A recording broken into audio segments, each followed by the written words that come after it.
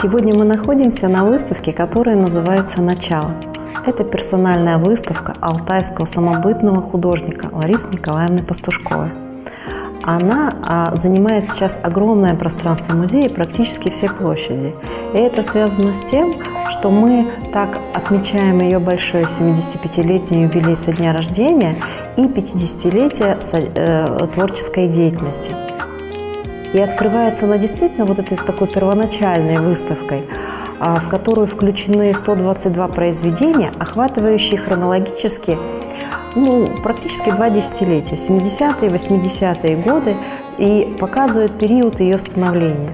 Здесь мы показываем только ее графические работы и э, работы в разных техниках графики, от цветной литографии до уникальных рисунков – Удивительно, что экспозицию э, этой выставки художник во многом придумала сама. Она захотела разделить свое творчество на отдельные жанры, в которых она э, и привычно работает. Это зал отдельно портретов, это зал пейзажей, это бытовые жанровые композиции, и это отдельно книжная графика, которая раскрывает весь э, ну, потенциал ее творчества. После окончания Московского художественно-промышленного училища имени Калинина в 1972 году она возвращается в родной город, Барнаул, и сразу поступает на работу в Алтайское книжное издательство. За 10 лет работы ей было оформлено около 30 книг, на которых многие э, поколения барнаульцев выросли. Это как художественные произведения, так и детские раскраски, сборники стихов. Далее э, она, э, конечно, как художник, как молодой художник, должна была много участвовать в художественных выставках. И для того, чтобы этот материал наработать, как, как любой художник, она выезжала на пленеры. Выезжала в пригород, э, в окрестности города Барнаула, э, ездила много по Алтайскому краю, выезжала в Горный Алтай. Но вот зал пейзажи это хорошо демонстрирует.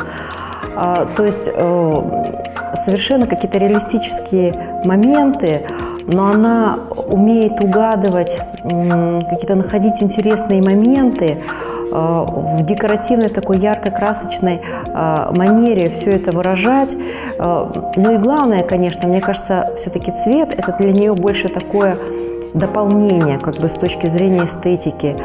А главное для Пастушковой всегда это линия силуэт. Она мастер линии силуэта. И вот это хорошо видно э, в ее портретах. Портреты ее друзей, знакомых, родственников. И на этой выставке вы можете обратить внимание очень много автопортретов совершенно в разной манере. Это, конечно, отсылка к студии Рублева, э, в которую она ну так можно сказать, поступила, да, пришла в 1976 году, где под руководством гениального педагога талантливая молодежь обсуждала искусство, делала многочисленные наброски в день, то есть рождалась так, как это свобода творчества.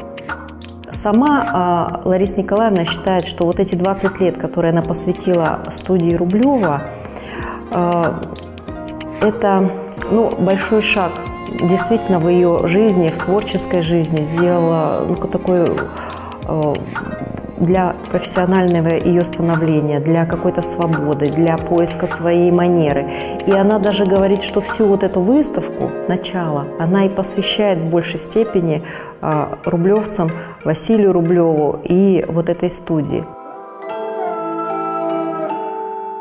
Хотя через какое-то время а, она попадает а, в дом творчества а, художников. Ну, существовали такие дачи в Советском Союзе, творческие дачи, куда за государственный счет художники приезжали и работали под руководством лучших педагогов Советского Союза, осваивали, ну, если это были дачи графиков, как Синеш и Челюскинская, где бывала э, Пастушко, то есть они осваивали все виды графики, печатной графики, афор, цветной литографии.